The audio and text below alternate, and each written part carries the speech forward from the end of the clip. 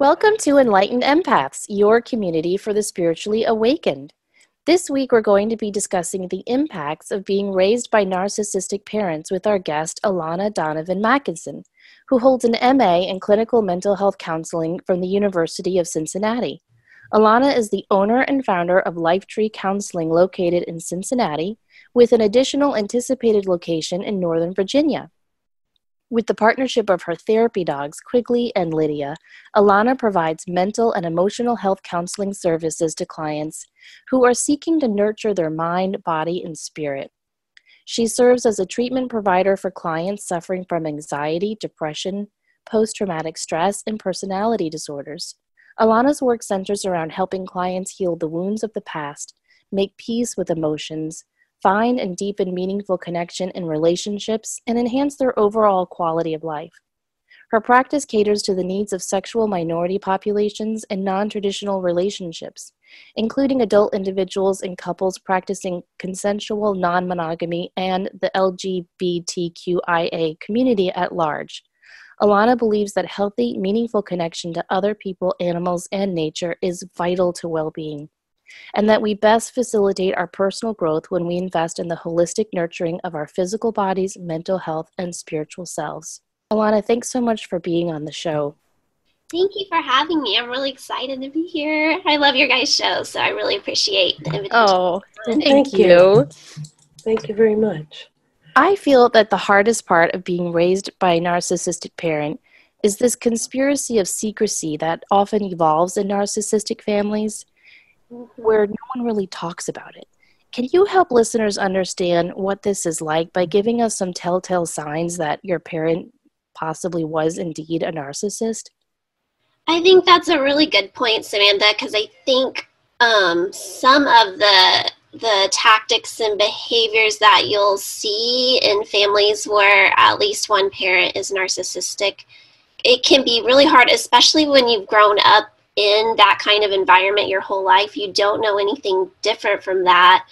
So it can be hard to even realize that maybe there's some behaviors that aren't the most healthy or that help the child to autonomize. Um, it can be kind of insidious and and hard to detect. So I think I'm really happy that we're having this conversation because um, there are some things you can look for to kind of tell if uh, that is an environment in which um, you did experience some of those things um, and kind of start parsing some of that out.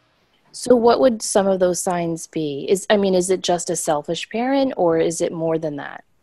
Narcissism. So, when you're looking at narcissism, I think first there is we've got to remember that it exists on a spectrum. So, it can be anything from somebody uh, being, you know, a little bit into how they look to all the way full blown narcissism where they have to they they kind of feel um, this sense of needing to put other people down in order to elevate themselves almost which you know the dynamics there can it it, it makes it really hard to um, deal with somebody like that. And i think we've got to remember we've got to have in in a way it, it does not excuse any abuse that can come from narcissistic parents.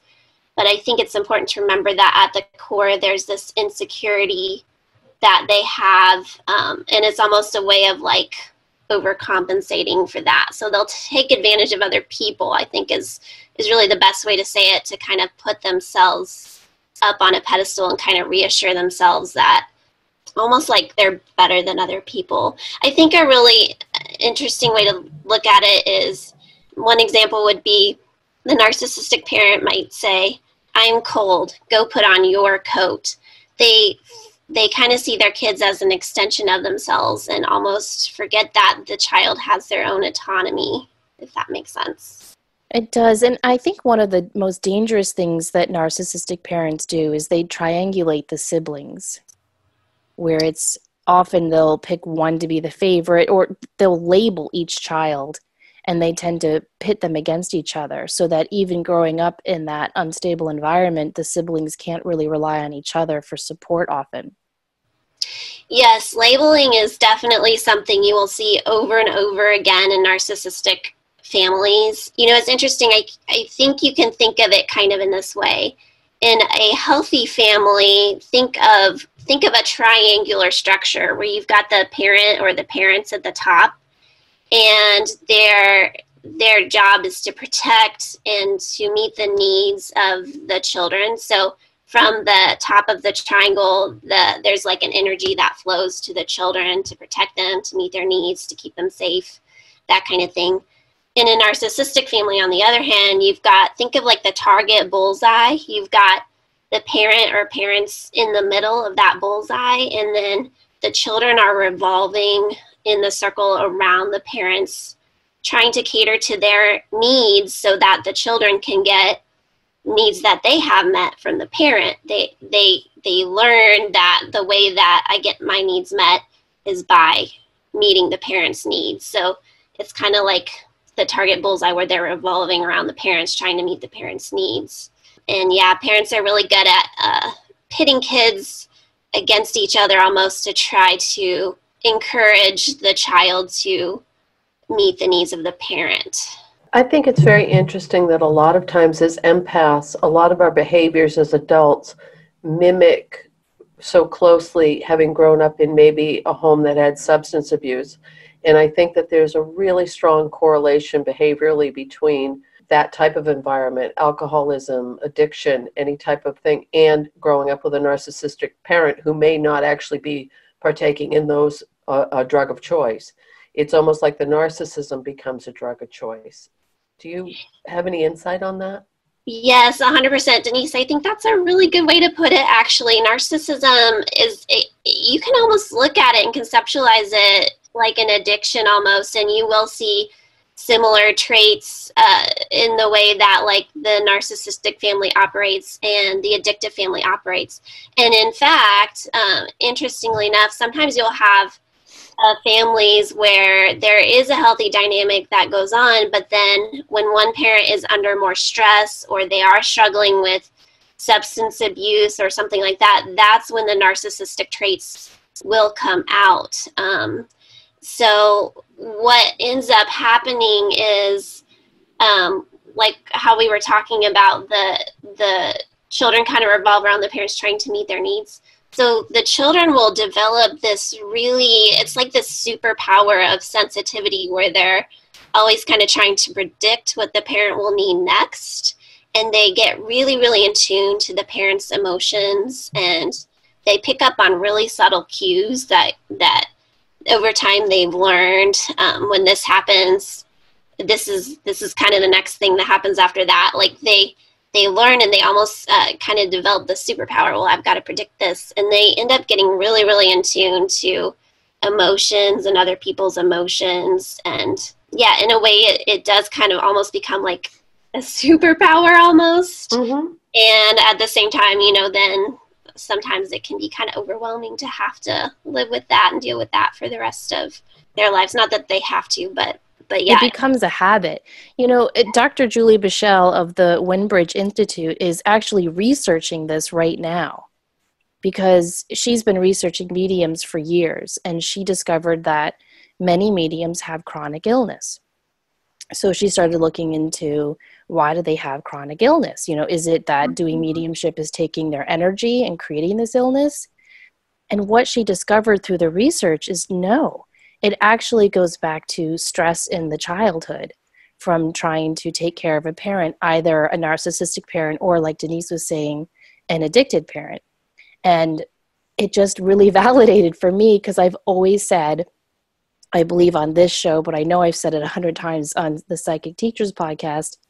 If you look at the famous mediums, they all have at least one dysfunctional parent.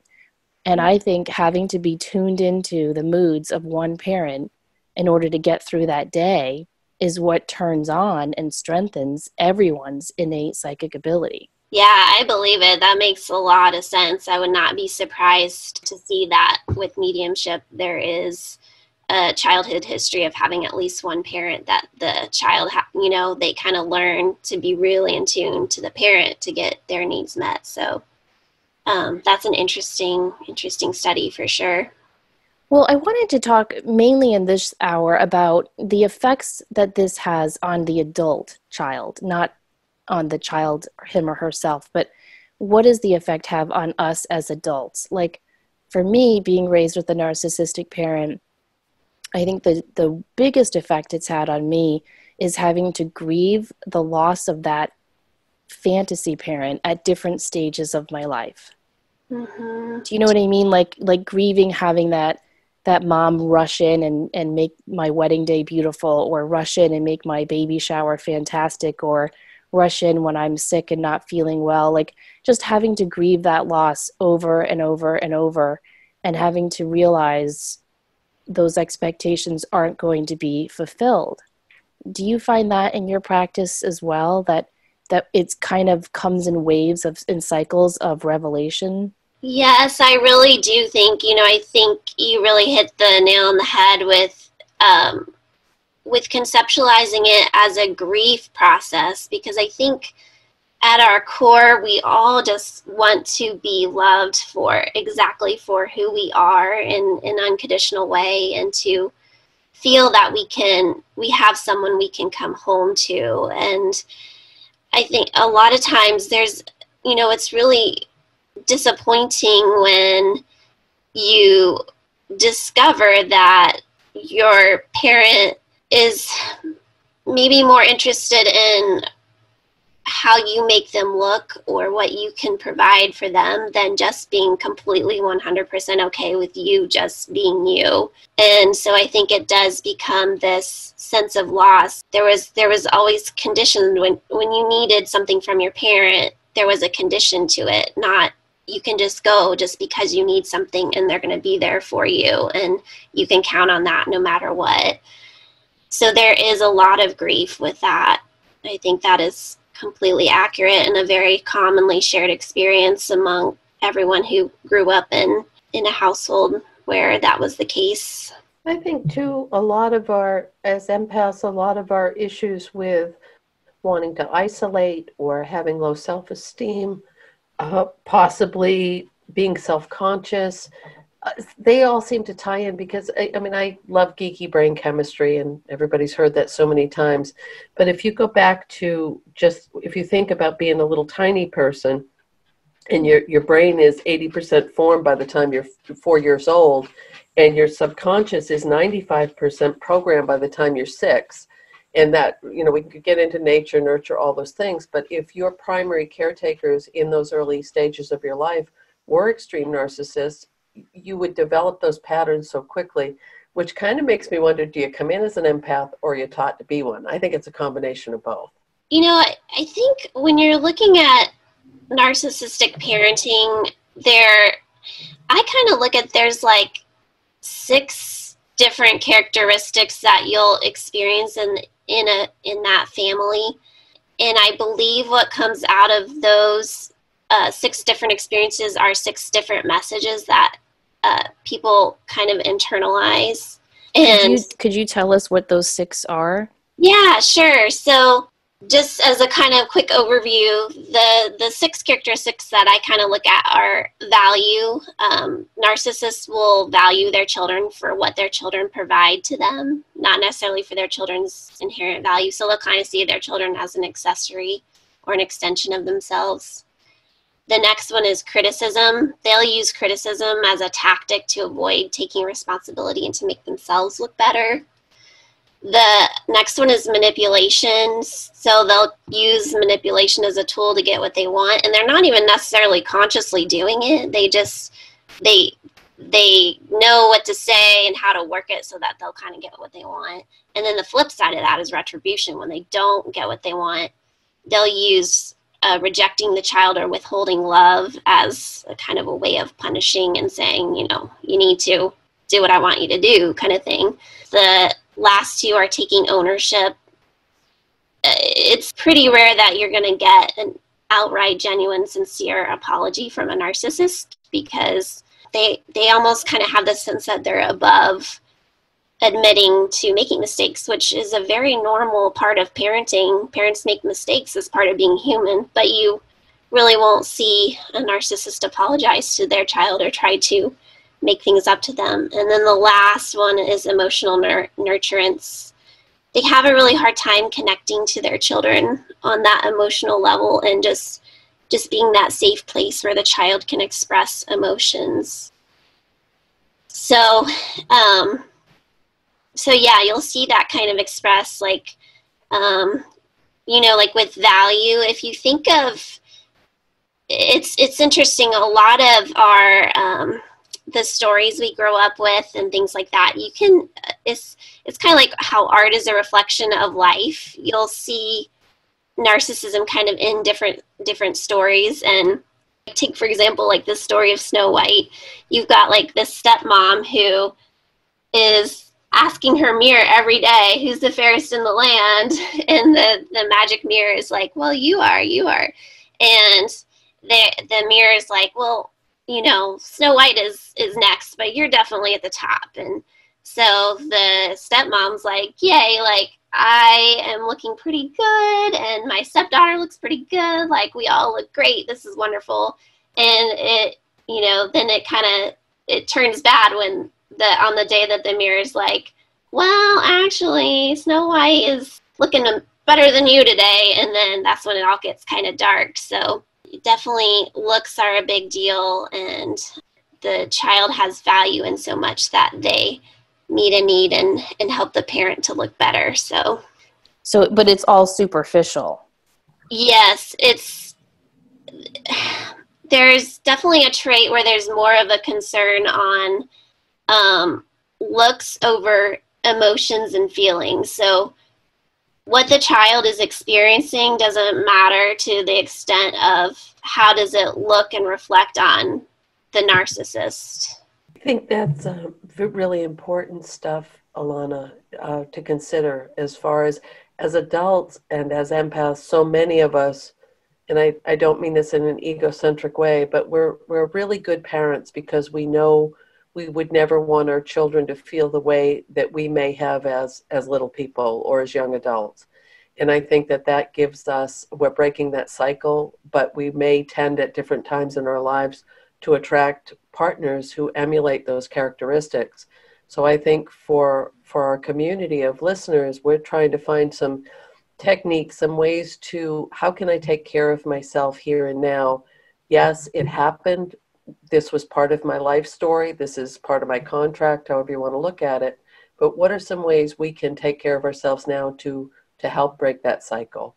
Yeah, so definitely the first step and this is kind of the first step when you're healing from anything is recognizing that you know this is the case that this happened to you that you experienced this growing up and acknowledging it. And sometimes that's really hard to do because it can be easier to kind of you know turn a blind eye to it because it's really hard to admit like you know my parent wasn't there for me uh, at all the time when i needed them. And um, I didn't get uh, the the unconditional love that I deserved growing up, and so having to kind of come to terms with it and admit it, kind of like what Samantha was talking about earlier, where it's it's a grief process, and part of grieving it is uh, first of all acknowledging it. So I think you have to acknowledge it, and then I think it's important to look at those messages that got internalized throughout your childhood and um, start confronting them with positive messages um, those those messaging you know we can they become very habitual and we've got to make new habits with new messages so i think you know like for value where narcissists value their children for what their children provide to them the message that the child gets is well i am worthless or I only have value to the extent that I meet my parents' needs. Um, with criticism, where narcissists will use criticism as a tactic to avoid taking responsibility, so they'll criticize the child. The child internalizes the message, I am bad. With manipulation, how they'll use manipulation as a tactic, kind of use the child to get what they want. The child develops this message, I am powerless and then, you know, with retribution, where they'll use harsh punishment as kind of a control mechanism, the child learns, I am unsafe. With taking ownership where they they don't apologize the child learns i am incompetent and then emotional nurturance. Um, and this is really sad but the child can kind of internalize that message i am unlovable. So part of the work i think that needs to be done is looking at those messages. And and you know some of these messages are going to be uh, learned more strongly than others and there may be messages that the child doesn't internalize because again these traits can exist on a spectrum and um, the narcissist may be stronger at uh, one of these than another so they can be internalized in different ways but whatever they are looking at them identifying them and re-challenging those and relearning like I am lovable, I am worthy of love, and I have value as a person inherently, and I am safe. I am I'm not in an unsafe situation. At least now, where I am as an adult, I am no longer unsafe, and relearning all of those messages. I think that's that's really important work to do. You know, I used to have these fantasies that if I I don't know, one homecoming queen or became a millionaire or was suddenly famous, like I would get the love and approval that I always needed from my mom. Mm-hmm. And I started reading Elton John's memoir he just wrote. I don't know if you guys have checked it out yet. It just came out. It's really good. And he has this narcissistic mother. And she's awful to him. And she doesn't love or approve of him even when he's freaking Elton John. Yeah. And it just made me realize, oh my gosh, like uh, there's the narcissistic parent, I think, always is going to hold that carrot ever farther. Yep. Dangling the carrot. That's exactly what I was just going to say. It's they they dangle the carrot. And it's interesting, you know, Elton John's a great example because you will see a lot of times um, children who grew up in these environments, they become very, very high achieving. Yeah, it's almost like it really cultivates this I got to do better, I got to achieve more, I got to be more successful and get more power and and they will work their butts off to get really far in life. The challenge becomes they don't, you know, get to just kind of enjoy life and um, relax into it and and have great experiences because they're always on. They're always having to achieve achieve achieve. So you will see you will see that happen a lot with children who grew up in these environments. And conversely on the flip side sometimes what you'll see is children are like well I could never measure up, so why bother trying kind of thing, where they'll just almost kind of give up. So you'll have really high achieving individuals um, as adults, and then you'll have um, adult children of narcissists who are just kind of like, whatever, I might as well just kind of, you know, just I, exist. I think it depends on the label you were given. I had a really good friend in college, and her motto in life was F it, except she mm-hmm. said the mm-hmm. word. And I mean, I mm-hmm. remember I'd be up studying till like two in the morning, and she'd go, "Ah, oh, just f it. What you know, what's gonna be is gonna be." So she had really embraced that rebellious model. But you know, what's interesting when Denise was correlating this with being raised by an addict, when my dad was going through AA, we all had to go to family therapy, and I remember the therapist said, typically, children of alcoholics, the oldest is the achiever the middle is the comedian, and the youngest is the rebellious artist. And at the time, I was kind of rebellious and was an artist. And it fit for all of my my sister. The middle is hilarious and funny and always kept us in stitches. And my oldest is an overachiever and is incredibly successful. But I remember in that group therapy, she said to us kids, be careful because studies show that half the children of alcoholics will marry alcoholics or become one. And that really stuck with us. And I'm really happy to say that none of my sisters or myself are alcoholics, nor did we marry an alcoholic. But it always stayed in the back of my head. And I'm wondering is that true of narcissists? Do some kids of narcissists become narcissists almost as a defense mechanism? And do some kids of narcissists then marry narcissists? Yeah, you know that's that's a, a, very interesting question because narcissists love raising little narcissists, and to the point of uh, is there a tendency to marry narcissists?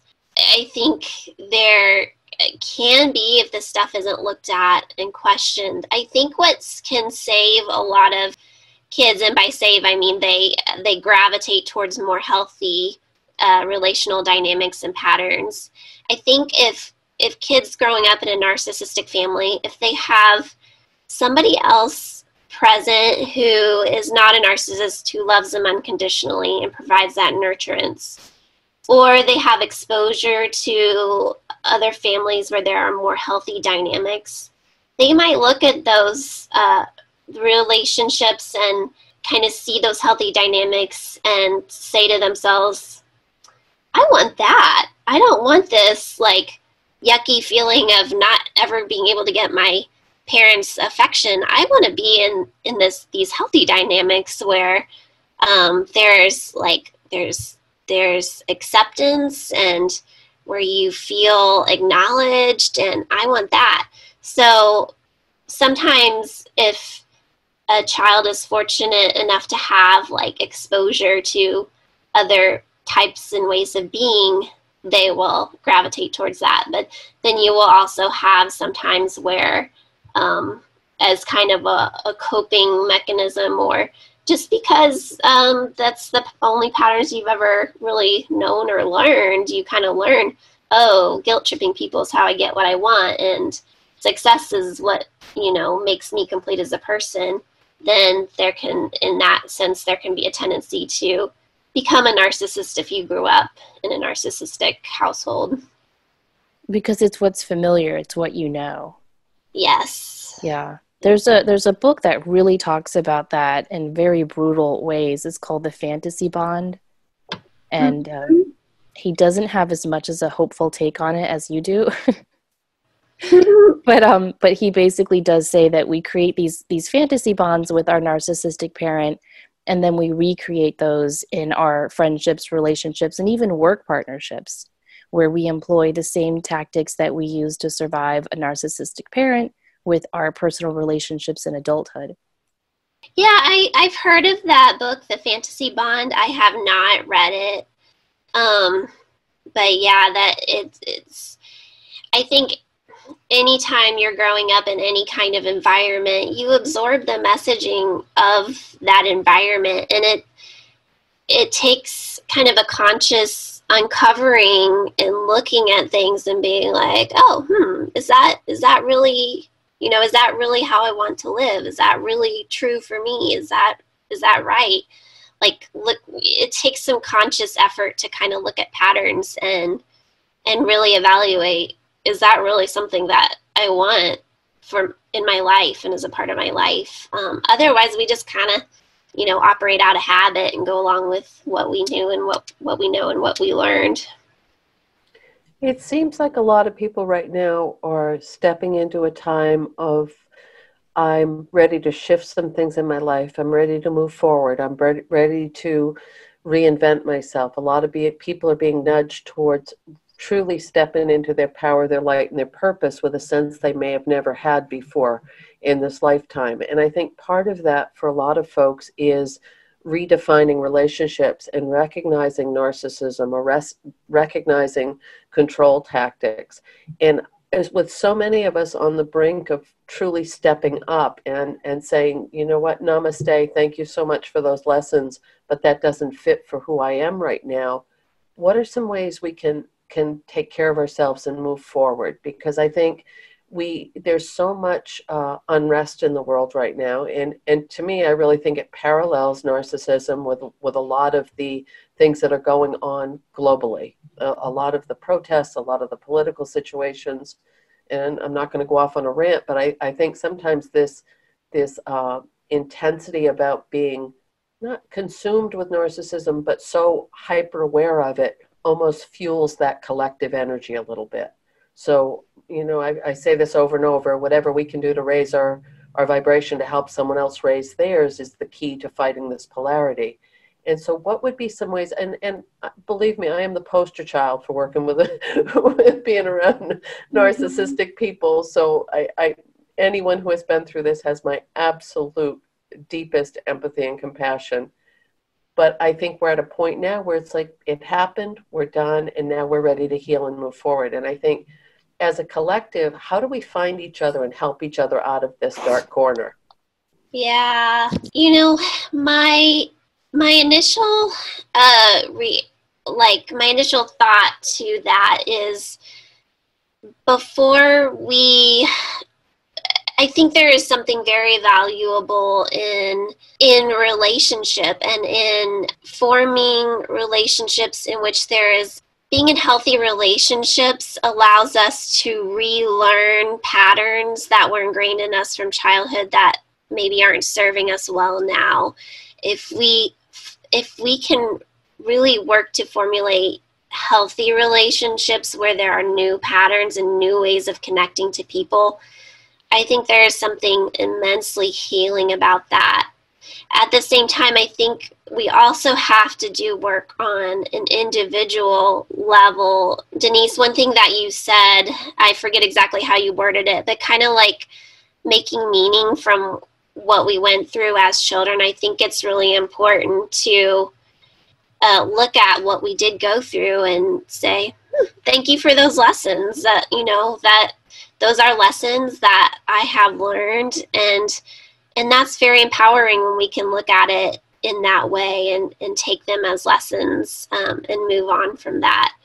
So certainly I think there's relational work that we can do and that will really be beneficial for us. And I also think that there's a individual work that is important for us to do as well. And there's a really great quote actually by Viktor Frankl who survived the Holocaust and talks a lot about making meaning from our life. And one thing that he says is, What is to give light must endure burning. And I just love that quote because it's just kind of like, you know, the stuff that we went through, resilience that we developed, and that's what gives us strength now. It allows us to be really nice, kind, compassionate people. But I think, again, another pattern is people are afraid. They're afraid to open their hearts. They're afraid to to open up to uh, new friendships or new relationships because it's been so ingrained that am I going to attract the same person with a different face? How can we find? And I think that's what we're a lot of us, and, and as a collective again, that we're working on is have I done my work to the point where I can lower that drawbridge and trust that I'll make the right choices in developing relationship with with friends or with my work partners or with whatever it might be. And and it feels mm-hmm. energetically like we're at a real tipping point with that. Yeah and when you did grow up in a narcissistic household you really are you you're afraid to trust yourself because everything about your experience you know like you might say i'm sad your parent says no you're happy so you don't really de- it's it's hard to find your ability to really trust your experience. And so that can be really scary when you are trying to connect with people and form new relationships. There's a vulnerability that is really important in relationships and it's hard to be vulnerable if you're you're kind of you're gun shy because you're like well you know, every time I've opened up in the past, like I've gotten really big hurt from it. So I'm just going to guard myself and not even go there. Um, that can certainly be tempting to kind of like turtle back into our shells and and not put ourselves out there. But I will say, you know, doing this work and identifying some of the patterns from that you experienced growing up in these households once you do that work you can you can much more easily spot narcissism and and uh, identify unhealthy relational patterns with other people um, in relationships that you might form. So it's kind of you know learning to trust yourself and also you know, looking at things from the knowledge that you've gained from your experiences. Well, and I also think it's about breaking the silence and talking about it and being open and honest about it. I I'm not saying you know, listeners should go home to their family of origin and say, hey, mom or dad, I think you were a narcissist when I was growing up, and here's how it hurt me. Because I don't know that that does any good. I don't think the narcissist has the awareness capacity to handle that. But being honest and open and talking about it with yourself, with your current loved ones, hopefully with your siblings, with the therapist, or even just with you in your journal or you in your prayer practice. But I think everything, especially in recent years, the Me Too movement, the I just watched this documentary last night called Who Am I Really? It's wonderful. It's about these two brothers who were abused as children and they never spoke about it and they finally start talking about it on this documentary and it, it just really hits home that silence is what enables this covert abuse to continue whether it's in the subconscious patterning that was planted in us as kids or whether it's you know just currently still happening. But if we can if you can talk about it openly and honestly at least with yourself that's a great step to start trusting yourself and to at least be vulnerable with yourself. Do you agree with that yeah definitely the acknowledging piece it's kind of like you know how do you how do you put you know, how do you put shame in its place? The best thing is to put out there, like, you know, the thing that you're ashamed about. Just, you know, state what it is, and then it just evaporates like that.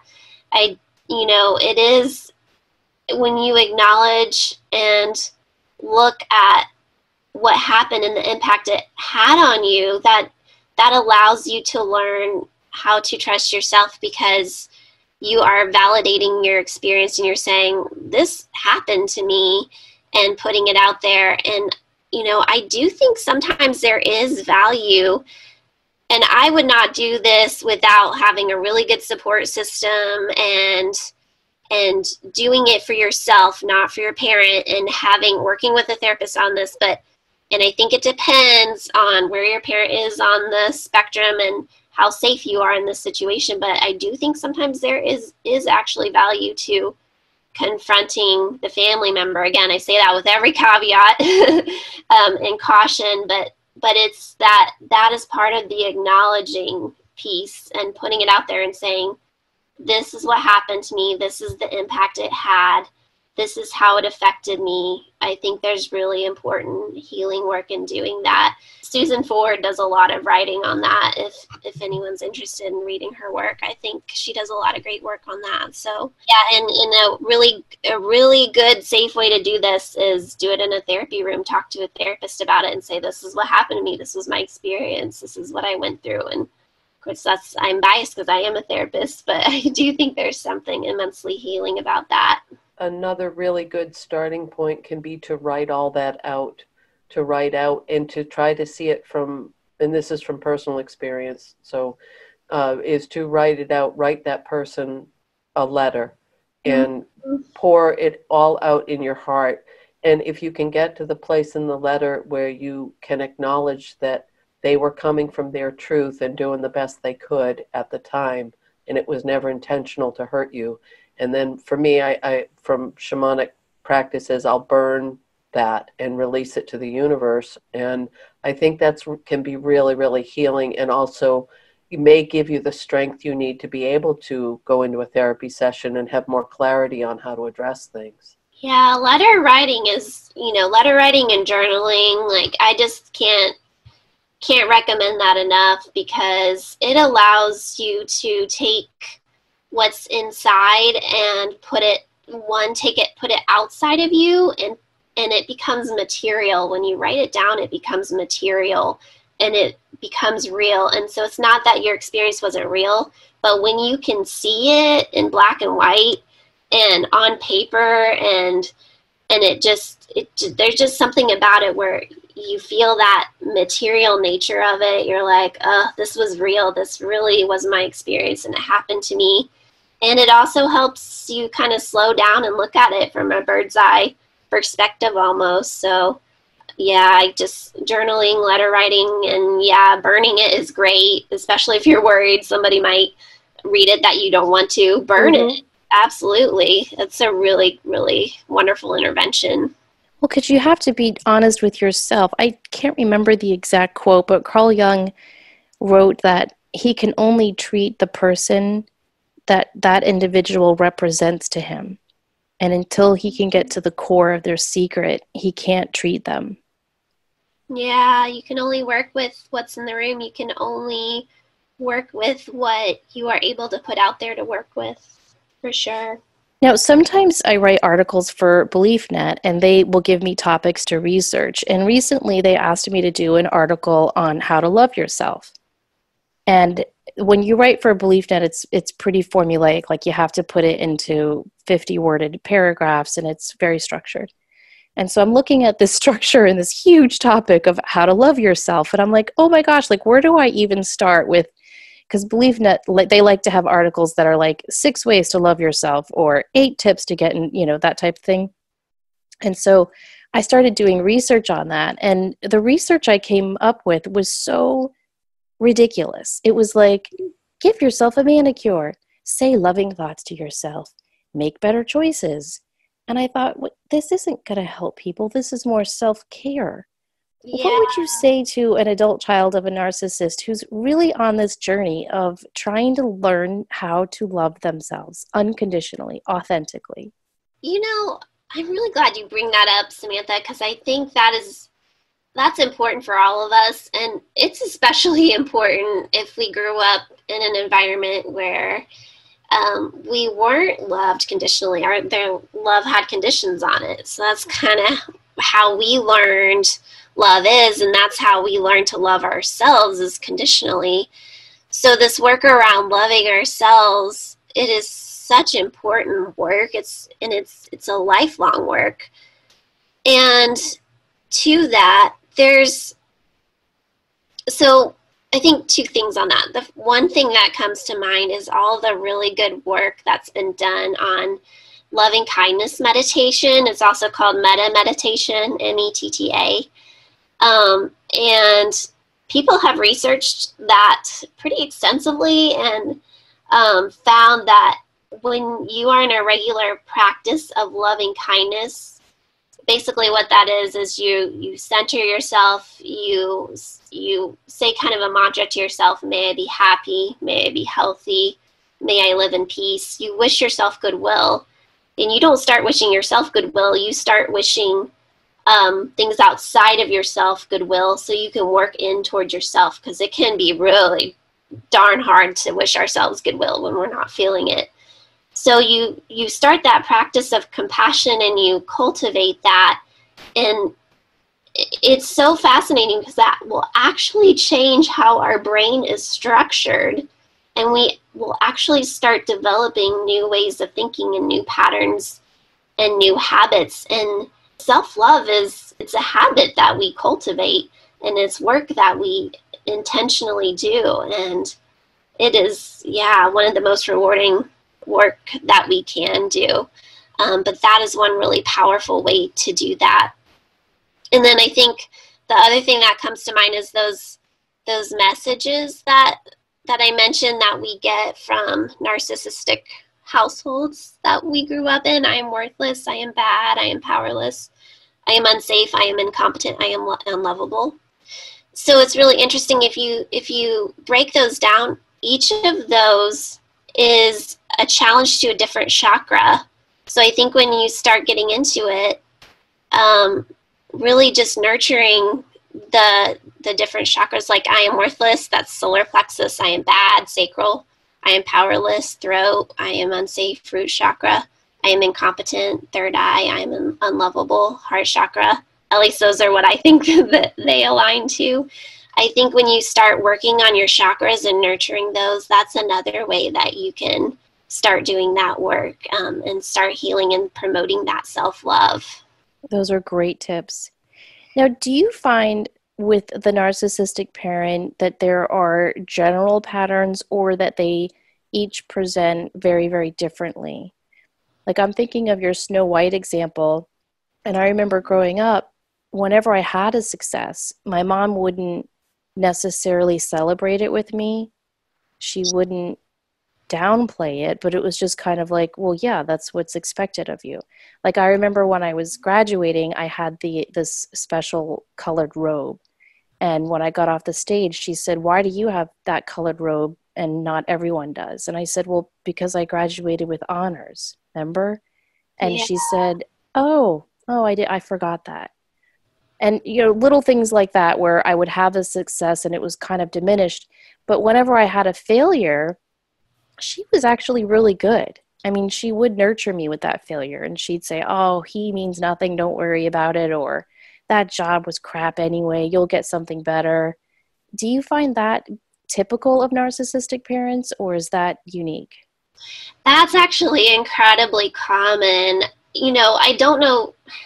I wouldn't say that they're doing this consciously, narcissistic parents, but they're I think on a kind of an unconscious level, they're always kind of uh, modulating how much attention and empowerment um, is being is being uh, granted towards the child. Like if there's a really big moment like graduation, well, the focus is going to be on the child, not on the parent.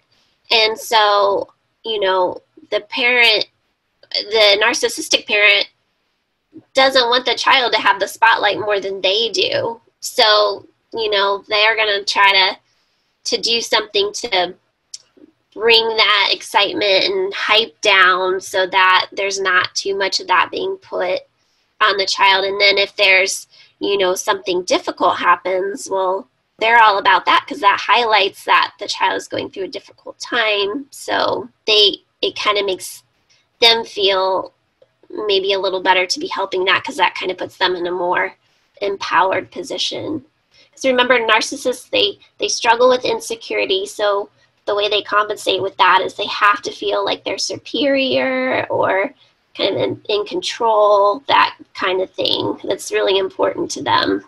It's very well put. Thank you. Yeah. It really is. It just it makes us think about all these different ways that it parlays into our present day life. Now, you were saying that with a lot of caveats, you should confront the narcissist or at least let them know in some way that this has impacted you. Do you think people should do that with this idea in their head of this is for me, not for the parent? Like, yeah, you know what I mean? Like, no expectations of how yes. they're going to respond. A hundred thousand percent, absolutely. Yes, it has to be for you. And that's why I really think people need to work with a therapist on it because it doesn't need to be done in a certain way. At the end of the day, what the the goal is is for the adult child to take their power back. And sometimes the reason you might confront, and again, it's very dependent on your situation, what you grew up in, how safe it would be to do that. But the reason that you would confront a parent directly is because it's a way that you can empower yourself. You can stand up to your parent and share, these were my experiences, and be able to do that without feeling like you're having to cater to them and their needs. This time it's about you. And I think that would be the reason you would go into it. Not because you're expecting a certain outcome, because parents are going to be who parents are, and they're going to, especially if there's really long term ingrained patterns, it's going to be very, very hard for them to change. But the point is that you're taking your power back. So I would definitely do it with the, if you did want to do it, I would do it with the guidance of, of a professional to make sure that it is the right choice for your situation and to be very careful and know what parameters you want to put around it. But yes, the point of it would be it's it's healing work for you. Right. And I do find that they mellow with age. I don't think that narcissistic parents are as bad in elderly times as they are when you're growing up. Yeah, it can depend. I've actually had I I can think of some examples of clients that I've worked with who have confronted their parent and it's been very very healing for them. And to my surprise, to be honest, because I think doing this work sometimes we can get a little cynical about it, but yeah, I've seen some good outcomes from it. Uh, then again, like I just again, you just got to be really careful with it. Do it with, don't do it when there's like, you know, you're going through a, a crazy big move or life change or something like that. Do it when things are calm, you're feeling like you're in a good place, and you have a really good support system around you.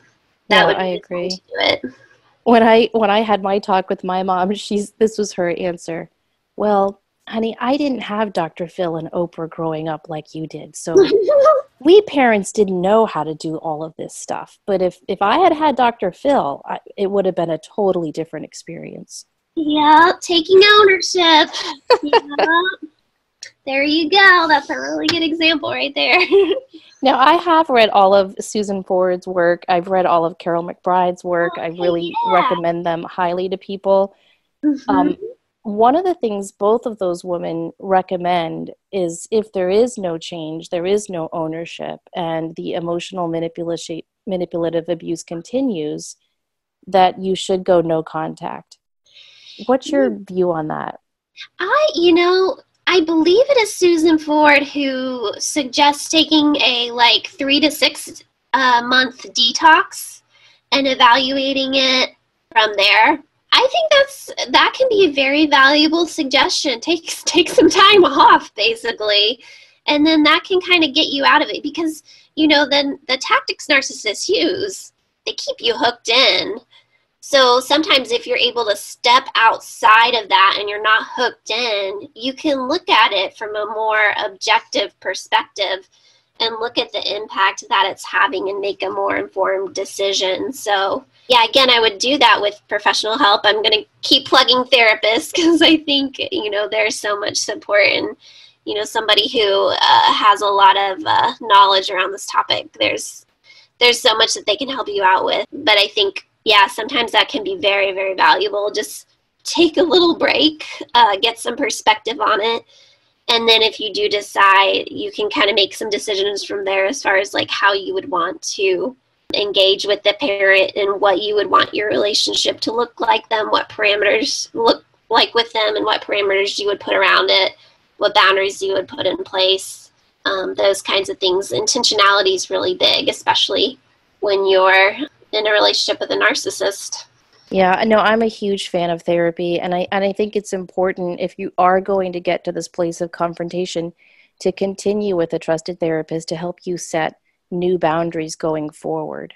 Yes, absolutely, because you deserve to be loved and you deserve to be respected, and there's there's no reason for you to be um, in a position where there's repeated types of abuse and you're being used um, to supply a narcissist needs. And there are ways that you can still engage with a narcissist where you are not the supplier of of their narcissistic needs. So uh, that being said, I think you know it's therapists are a really valuable resource for helping you learn strategies and figure out how to implement ways of if you decide that this is a relationship I want to continue because well they're my kids' grandparents or whatever, there can be some some things that you can develop with your therapist that are unique to your particular situation that are going to really help you with that. So,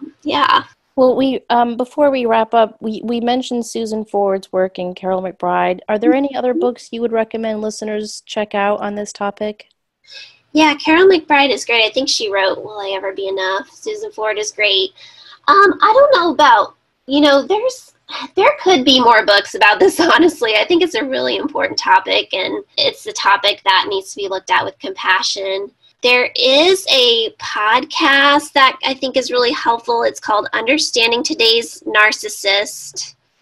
Um, I'm trying to remember. Hammond is her last name. I can't remember her first name, but that one is a pretty well done podcast. So that could be another resource. Perfect. And I'll, then I'll put I, it in the show notes.